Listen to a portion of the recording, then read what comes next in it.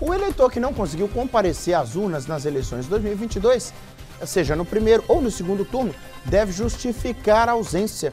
Uma das formas de realizar a justificativa é por meio do aplicativo e-Título. Em Ipatinga, 23% dos eleitores precisam acertar as contas com a Justiça Eleitoral. A reportagem está aqui, pode balançar.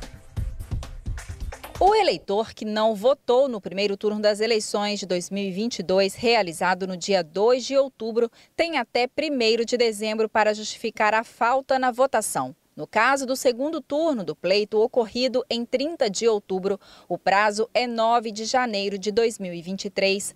Para justificar, o eleitor deve acessar o sistema Justifica ou enviar o requerimento de justificativa à zona eleitoral. Também é possível explicar por que não votou pelo aplicativo É Título no celular. De acordo com o Tribunal Superior Eleitoral, no primeiro turno em Patinga, dos 180 mil eleitores aptos a votar, mais de 41.500 pessoas não compareceram às urnas. No segundo turno, o número de abstenções foi menor. Pouco mais de 39 mil não exerceram o direito ao voto. O eleitor que não tiver votado né, em um dos dois turnos, ou nos dois turnos das eleições de 2020, ele pode inicialmente né, procurar o, a, a justificativa por meio do site da Justiça Eleitoral. Né? É um, um método mais cômodo, né, sem custos também.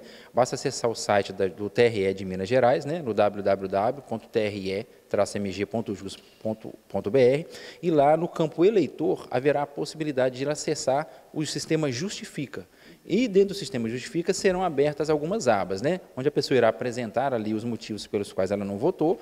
Tem um campo também para anexar um documento comprobatório né, dessa ausência às urnas, né? e esse documento será eletronicamente enviado para o cartório eleitoral e o juiz o analisará. É um requerimento né, feito ao juiz e após essa análise, essa justificativa, a depender do conteúdo, ela será deferida ou indeferida pelo juiz eleitoral. No Brasil, o voto é obrigatório para adultos entre 18 e 59 anos de idade cidade. Quem não compareceu às urnas e não justificar o voto está em dívida com a Justiça Eleitoral e sujeito a multa que varia de R$ 1,05 a R$ 3,51. A ausência de justificativa, ela gera aí uma ausência de quitação eleitoral. Então, aquela pessoa que precisa, por exemplo, de uma quitação eleitoral para fazer uma viagem ao exterior, né, retirada de visto, passaporte, matrícula em estabelecimento oficial de ensino, né, bem como as, algumas outras restrições de, de menor amplitude, ela fica sem a quitação eleitoral. Então, ao não obter essa quitação, ela não tem a certidão que propicia o exercício aí desses direitos. Posse em concurso e outras coisitas mais, né? Melhor ficar em dia.